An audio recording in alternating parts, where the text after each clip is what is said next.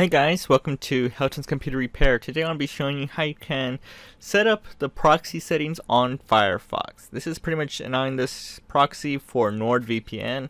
NordVPN has the application that you can install on Windows operating system, also on Macs and Linux and Android and so many other ones out there. That means if you already have this and you don't want to choose installing the program, there's another option you can go to is going to Firefox or Chrome and you can just install the extension. But if you don't want to install the extension neither, I'll be showing you how you can manually set up the proxy settings. Now NordVPN is not a free program. It is actually, you have to pay for the subscription, but it's an excellent system that is used to hide yourself from the web. So I'll show you real quick by going to nordvpn.com.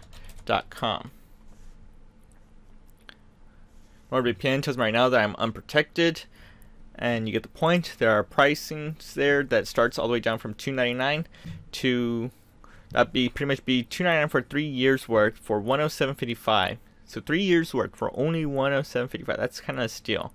Or you can go up to stuff like going for two year to one year, and the prices change. Or you can just pay for monthly for 11.95 if that's what you want to choose. You'll pretty much have to create an account for you to do this, and you get the rest. But that's another story. So for the rest, let's get started, and I'll be showing you how to set up the proxy settings on Firefox.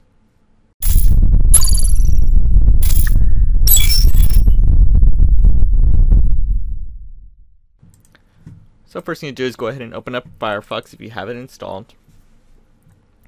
And you're going to pretty much go to the Firefox menu right here. And you're then going to scroll down to see options.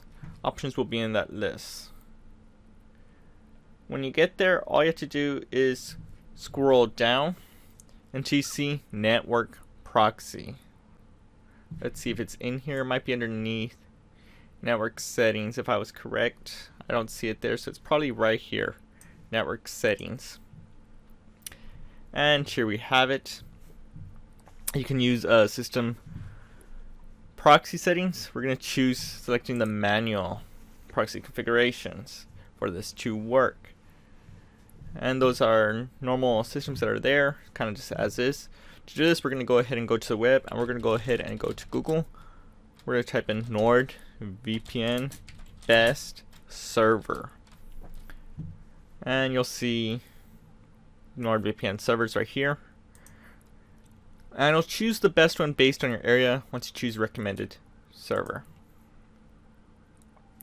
Now this can change over time so you may have to do this if it randomly changes, like you're going to the web and it doesn't want to work, or let's say it's just being fully loaded from everyone using that same VPN right there. So I'm gonna go ahead and come and just copy that file. And now we'll go back to options again. Right here, I'm pretty much going to type in the HTTP proxy right there and press paste. Use this proxy for all protocols, so it'll take place for everything and what you're going to do is actually select the port 280 for this to work. After you're done that, you'll press OK if I'm correctly.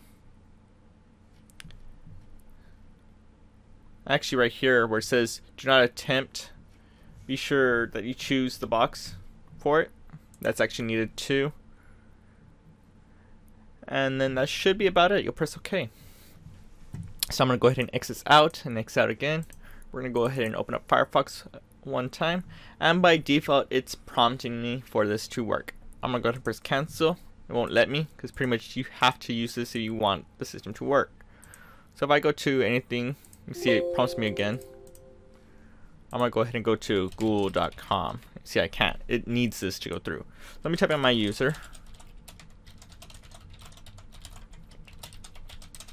You have the option if you want to put it to remember. I would recommend not to. That's the whole point for this. And let me try that again. I think I might have mistyped it.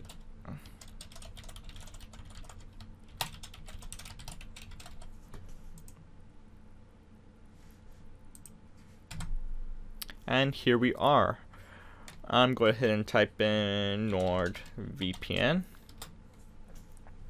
And I'm going to test their site and see if it tells me if I'm secured or not.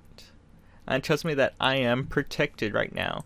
Just to be sure, I'm going to go ahead and go to here and type in what's my IP. Now this will apply on your computer if you do what's my IP first and you see what it is. It has changed to this random one. Pretty much that simple. Now if you do not want it to be there anymore or problems comes up, you can just simply go to the same sets by going to options, scrolling down once you get there and you'll see network settings, select settings for it, and just press use proxy settings or hell you can just choose no proxy at all and press OK. And I will X out the browser from Firefox, open again. It hasn't prompted me. I'm gonna go ahead and go to like google.com and it is clear. And that's pretty much all you have to do. Thank you for watching from Helton's Computer Repair, and I'll see you on the next video. Thanks for watching guys. If you disliked this video, then hit that button. But if you like it and you want to see more, hit that like button, get subscribed, comment, and tell us what other tech videos you want to see. Consider checking out our merch store, link in the video description. And for the rest, I will see you on the next video.